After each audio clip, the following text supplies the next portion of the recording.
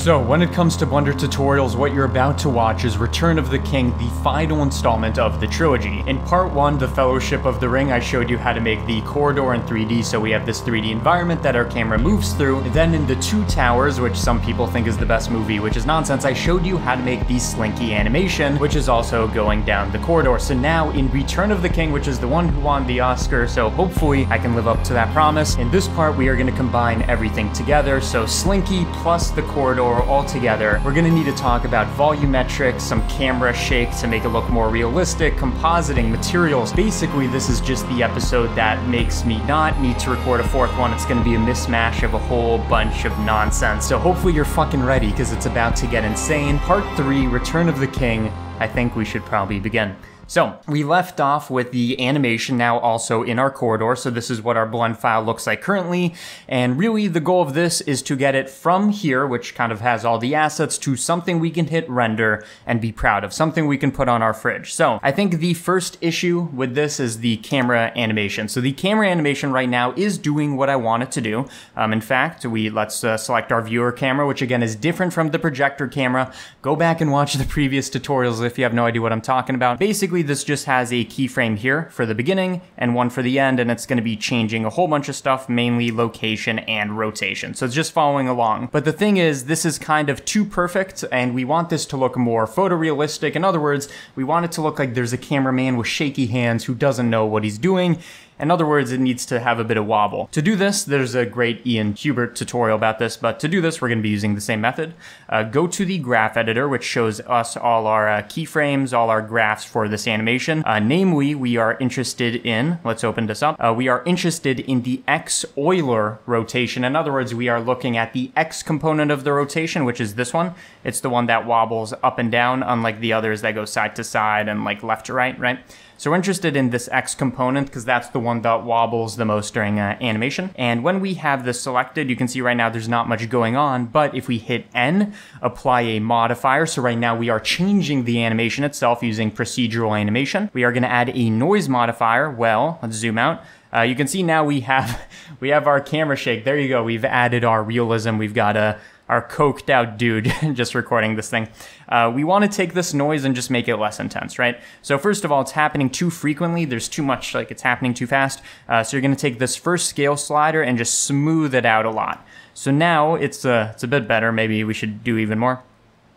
So now we have kind of like a less frequent shake, but of course the magnitude, the strength of the shake is still crazy. And that's what this uh, second strength slider is for. So I'm gonna make it instead of one, I'm gonna make it 0.1, a tenth of the strength. Um, and you can see visually this just makes it less intense.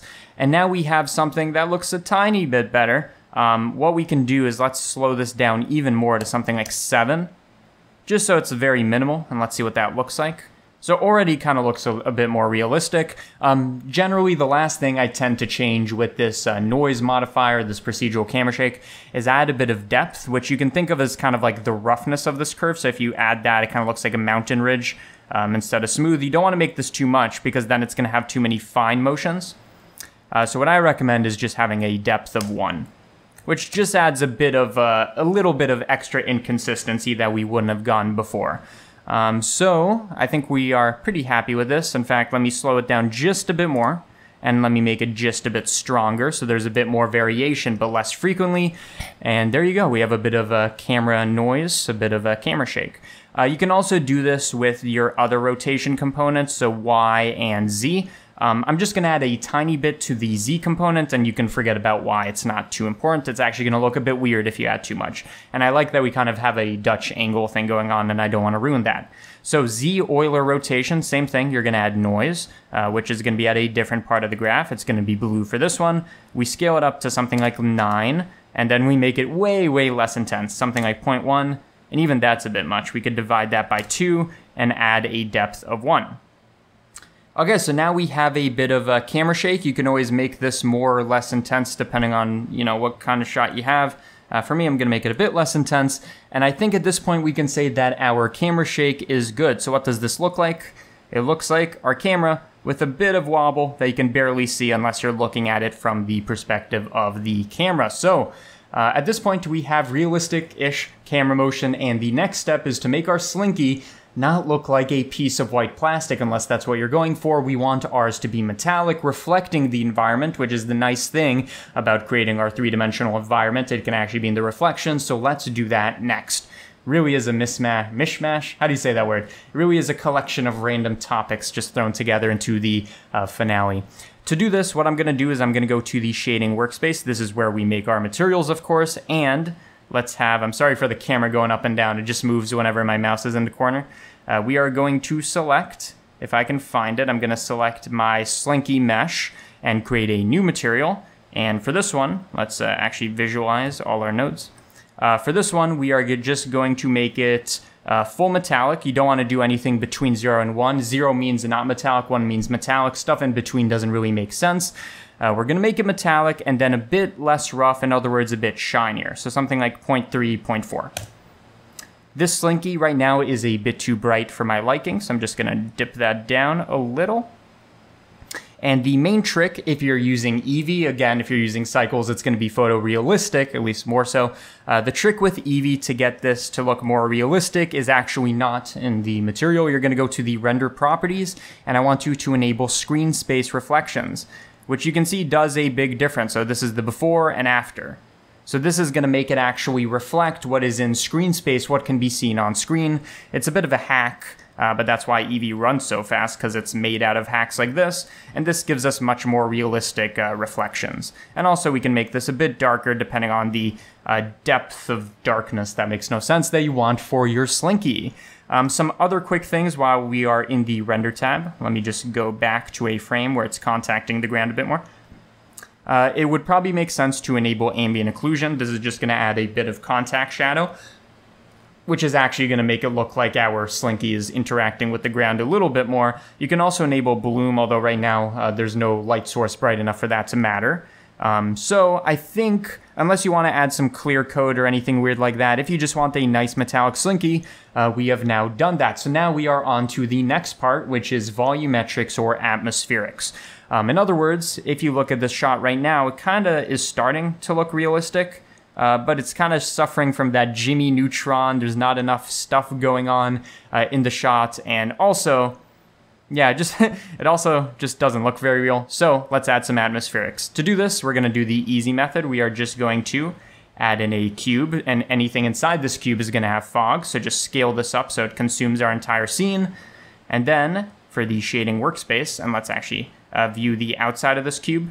We are going to give the cube itself a material but we don't want a surface material. We want a volumetric material since this is going to be a volume. It's going to be inside the cube, giving it uh, fog and mist and all that. Connect this to the volume, and you can see already this gives it a nice smoke. And before we continue, if you're using Eevee volumetrics, just make those uh, volumes a bit more refined.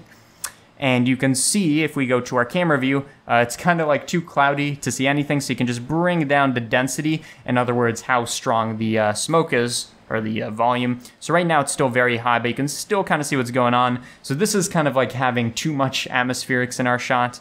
Uh, you can keep bringing this down until it's just kind of like a mist occupying our space. So maybe even divide this by two. So this is uh, with it and this is without. So without, with, you can see really does add something. And if we were to give this kind of like a yellowish kind of grungy, dusty color, it will look more like a old corridor, which, you know, this thing already does look like that. So this kind of really depends on your shot, what you want. Uh, but I'm not going to stop there. This is Return of the King. I'm just going to show you how to make uh, volumes in a cube and that's it. Uh, no, we're going to make it more procedural and in some sense more realistic. So do we that? We do not want a uh, uniform fog. In fact, we want some areas to be dustier and uh, mistier than others. So how do we do that? Well, instead of having a single density value that controls the density everywhere, what we can do is we can in fact use noise, a noise texture, yes, not only for surface but for volumes. Uh, this is a three-dimensional quantity that we can visualize in our density, and right now it doesn't really look like it's doing anything, but that's just because we need to add in a bit of a color ramp and we need to have some areas have way, way less uh, fog so we can see the variation. So take your bottom handle, the black where there is zero fog, and just bring that upwards. And you can see now we have kind of like a cloudy thing. uh, which means that in some areas there's going to be fog and in some areas there won't. Now, of course, we don't want there to be kind of like all or nothing kind of response. Uh, where we have very little fog, we just want it to be subtle. So it doesn't need to be black, just kind of like a uh, very dark gray or something like that. So nowhere is it actually zero, but in some areas it is more intense. And you could do the same thing with the, um, you know, the top slider. You don't need to have like a area with a very, very intense amount of fog. That's up to you. So you could bring that down. Uh, but what I like to do is once we have our color ramp, I'm going to control this using another node outside of it, uh, namely a math node. So right now we just have a bunch of quantities that we could uh, we could visualize like this. Probably better to visualize it as a volume. Although although it's not working out too well in that uh, regard. What we're going to do basically is we're going to multiply this. In other words, we're going to scale the strength of this by something like 0.5, so make it half as strong. So you can see uh, we can make it more dense, less dense, whatever. Uh, this is our controller for that. So I'm just going to crank this down until it looks about right. I think this is good. It might, for some people's taste, this is probably way too foggy. Uh, but for me, I'm like, I do want that old looking feel. So uh, we have added atmospherics that kind of give our scene depth, which is kind of the whole point of this. So, what is the next thing on the docket? Uh, well, we have a realistic camera, but uh, maybe this is just a me thing. I like adding a lot of shallow depth of field. I like stuff being out of focus, and I like also doing focus pulling. So, like looking at your finger, that's in focus. Then at the background, you're saying, I want this in focus, then the other thing, and that's called focus pulling, changing the object that's in focus.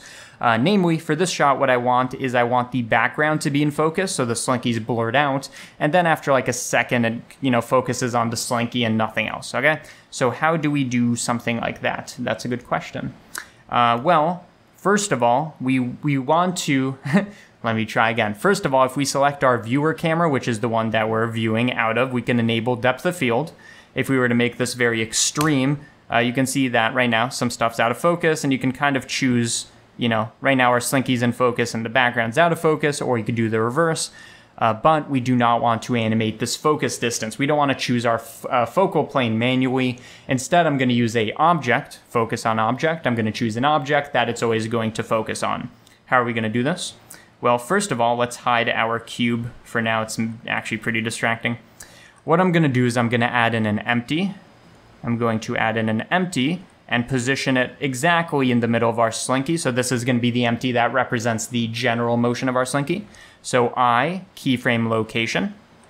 Then on frame 120, uh, being the last keyframe, we're just going to move this down to the center again and add another keyframe. So right now, if we were to view this, it should be following, not perfectly. Like you can see, sometimes the empty's ahead and sometimes it's behind.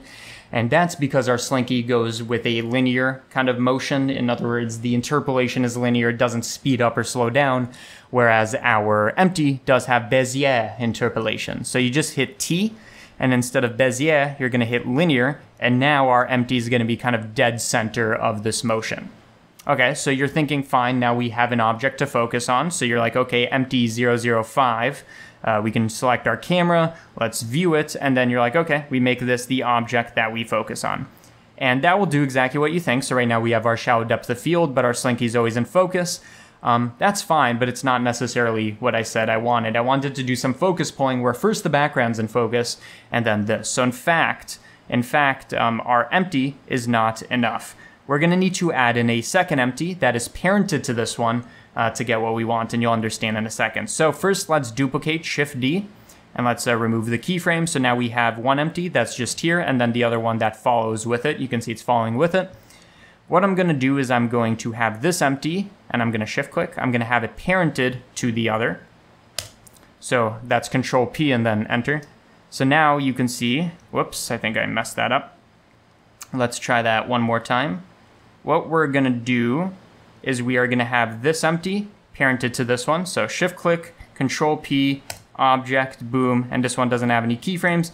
So you can see now they are moving together, one's following the other, uh, but it's not necessarily one on top of the other, which is kind of the point because we can have our empty start off over here, something like that. So it's focused on the background. We'll put a keyframe there. And then after, let's say 30 frames, it's gonna go uh, right on top of this. So just kind of have it be on top, and then they are going to move together. So in other words, uh, we have kind of a additional degree of freedom where first uh, we can have our empty move around, and then it can move with the motion of the slinky. And this is going to be our focus object. So let's actually give it a name. We can call this thing focus. So right now, if we were to enable this as the new focus object, so I have the viewer camera, we are going to change this to focus right there. You're going to see that in the beginning, our slinky is going to be out of focus. Why? Because the empty's back here. And then after 30 frames, this is going to go into focus. And now we can just kind of play around with the aspects, the properties of our depth of field. So I'm going to make this more intense, 0.15. So some stuff's really out of focus, and then the slinky's really in focus, and the background's out of focus. And this is just the, you know, kind of like filming an ant kind of depth of field kind of situation. Maybe uh, you don't want it to have have it be as extreme as I'm doing it here, uh, but you know, screw what you want. This is what I'm doing. So here we go. We have our realistic camera motion. At least we have some uh, camera shake, is what I mean. We have our depth of field. We have our materials. We have our atmospherics, which, by the way, now that I'm looking at this kind of completed, um, sorry, I got distracted. Uh, now that I'm looking at this kind of completed, I do want to make those a bit stronger. Actually, it's because I'm not viewing them, so Alt-H to do that. There we go. Now it's looking nice. My brain just thought, oh, I guess we need stronger atmospherics. No, they were just disabled. And you can see how with depth of field, everything plays together very nicely. So now, uh, the final step really is if you're happy with this, I think in my you know initial project I added some dust particles. We're going to skip that. Um, now the question is, are you happy with this? For me, the answer is yes. And the rest of this is just going to be some basic compositing rendering stuff. So let's pick a frame that we want to use as our reference. So probably not this because the slinky's out of focus. Let's pick one like, I don't know. I guess a frame like this is pretty good to give us a vibe of what our shot's going to look like. Uh, right now we can hit F12 and it's going to render using Eevee, so it's going to be, you know, three to four seconds. Uh, there you go. Um, so right now this is what it looks like, and the rest of our uh, work is going to be some very basic compositing tricks. So go to the compositing workspace with nodes enabled. Again, the reason we can see this image is because I hit render. Uh, I hit render before. If I didn't, this would have been empty. So make sure you do a render preview. Control Shift click to have a viewer node so we can actually see what we're doing. And I'm just going to link these together. So now the name of the game is to add some nodes in between here. So from our initial render to what is being outputted, we add some nodes to give this some visual interest. The first thing I like to do is I like to add in a gamma node. And yes, we could control the gamma from here and it will, you know, change what it looks like interactively. Uh, but I do like putting this as a node so that we don't have to mess with this from the render settings. But it does raise the point that we could use this slider to kind of pick what we want. So I like kind of a darker look, which seems around 0.8, 0.9. So, in other words, we can take our gamma slider, make it like 0.9, or is it inverted here? That's the interesting thing. I guess it is inverted. So you want to make it, instead of 0.8, 0.9, it'd be 1.1, 1.2. So you can see now it's nice and dark. So I'm going to go with 1.15 for this. So that, that's something I actually never looked into, the gamma being different here than here. Okay, so that's the first thing. So this is before and after, just gives us a bit of depth. Next, what I like to do is I like to add in an RGB curves, and this is just kind of like a fancy way to add contrast with more control. So in the darker color, so this is like the shadows and this is the highlights, and right now it's linear, meaning everything's one-to-one. I'm going to take our shadows and make them a bit darker, in other words, make them lower, and I'm going to take our highlights, in other words, the area to the right, and make it a bit higher. So it's like contrast, but we're specifically saying make the shadows darker and the highlights higher. Uh, so this is the before, and after, you can notice that the parts of the wood that are in shadow are now much darker, and the highlight, uh, the bright area on the metal, is now much brighter. So that's the before and after. And then finally, and this is kind of like a controversial step, I like to add in a bit of lens dispersion. That's kind of like the chromatic aberration, the color splitting that happens on the edge. Uh, so if we were to make this value very big so you can see what it does, uh, you can see it adds quite a bit of color variation and you can have it fit uh, so that it doesn't uh, have the corners of the frame have nothing in there. So that's what dispersion does. So this is zero. Um, I, I like to keep this pretty low at something like 0.1, but you can see at the very uh, corners, and especially with this fog, which makes everything a bit kind of muted and a bit wider, uh, really does some nice dispersion stuff. So this is before and after. And long story short, if we were to bypass all these nodes, this is our original render right? It's just kind of this overexposed thing, and then this is our final render. It kind of looks more atmospheric in a lot of ways. Okay, so are we happy with this? I think so. So you just have to picture what we have right now, uh, but with all the uh, compositing steps. And I'd be interested to see uh, what this uh, frame looks like where we actually have our slinky out of focus. And by the way, while this is rendering, uh, if you use the newer Blender builds, Eevee now has motion blur, and that's what I rendered mine with because I didn't want to use cycles. I wanted it to be fast. And uh, you can actually utilize Eevee's motion blur to have our Slinky have motion blur. Uh, I'm not going to do it for this tutorial, but just know that it exists. Um, so yeah, that actually looks pretty interesting here as well. And uh, about that whole motion blur thing, if you're using 2.83, so I think the motion blur thing's 2.9, uh, you're going to notice that yes, there's still motion blur, but this is actually only camera motion blur. It's not object motion blur. So since our camera is moving, it is in fact useful, uh, but we're not going to get motion blur just from the compression of our Slinky. But this is this is something worth at, um, enabling. There's no reason not to. Um, and yeah, that that's essentially our shot. You can always like go back and change literally the shape uh, of the slinky, or or you can make the slinky brighter or darker, or you can make it a rainbow slinky, which is a tutorial over at the Patreon. Uh, but long story short, you basically do what we did, and instead of hitting render, you hit render animation to export this whole thing. Of course, you want to choose, you know, what kind of file type you want.